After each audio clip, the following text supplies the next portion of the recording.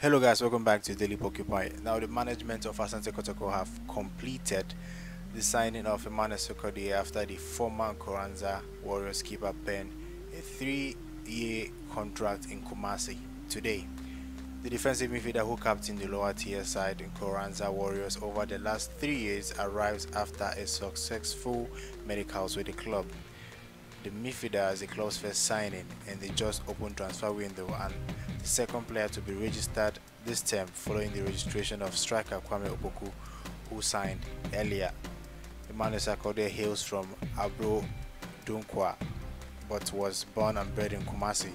He was chased after by Aduana Stars, Hearts of Oak, Legon Cities and 11 Wonders but opted to join Asante Kotoko following the record in the country and in the African scene. Now, Emmanuel Sarkodie talked to Kotoko Express app. This is what he said. I was born here in Kumasi. I grew up wishing to play for Kotoko. Coming here is like coming home to where it all started for me as a footballer because I was once a member of the Kotoko youth team. I'm here to do my best to help the club achieve its goal. I believe in hard work. I know that I would not have come this far if I had not pushed myself. It is the same thing I'm going to do here. Discipline and commitment to duty are my hallmarks, and I would always give my 100% for the shirt and for the fans.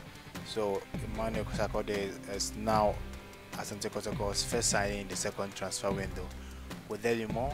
Stay tuned for more news. Don't forget to subscribe, like, and comment what you think about this video. Till next time, guys. Goodbye.